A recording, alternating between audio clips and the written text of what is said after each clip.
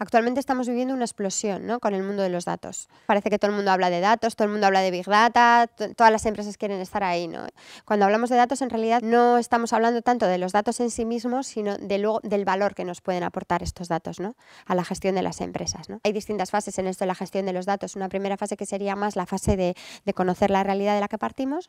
Una segunda fase que sería la, la, de ser capaz incluso de llegar a predecir qué es lo que va a suceder, ¿no? por esto de las relaciones causa-efecto que comentaba incluso una tercera fase en la que seríamos capaces de hacer que las cosas pasen. Es decir, en la medida en la que yo sé que determinadas causas provocan determinados efectos, yo puedo motivar o incidir sobre las causas para que luego el efecto sea el que yo como empresa quiero que sea. ¿no? En el sector salud, por ejemplo, ¿no? que, que, hay un montón, de, un montón de estudios y análisis ¿no? que gracias a la información de la que disponemos de todos nuestros pacientes, somos capaces de conocer mejor eh, cuáles pueden ser los mejores tratamientos, mm, cuál puede ser la mejor forma de prevenir determinadas enfermedades, ¿no? Bueno, hablo de pacientes, pero hablo de, hablo de enfermedades, hablo de, bueno, de la genética, ¿no? Hay, hay miles, de, miles de aplicaciones, ¿no? Con todo esto de los datos, ¿no?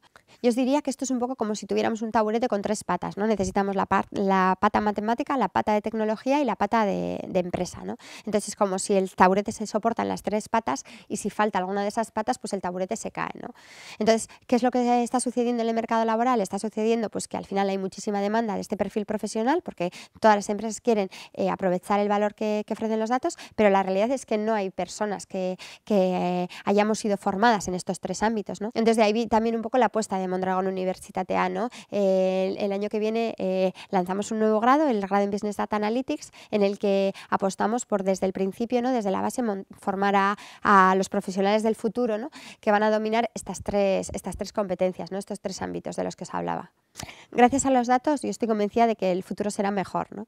porque todas aquellas tareas que, que las podemos automatizar de alguna forma o bien que no nos aportan valor, eh, las podemos dejar ¿no? en manos de las máquinas y nosotros dedicarnos pues, a aquello que más nos gusta, que más nos apasiona, aquello que más valor, que más valor aporta ¿no? y aquello que indudablemente las máquinas nunca podrán, podrán llegar a hacer porque estoy segura también de que hay cosas que, que por mucho que avancemos ¿no? Eh, las tendremos que seguir realizando las personas. ¿no?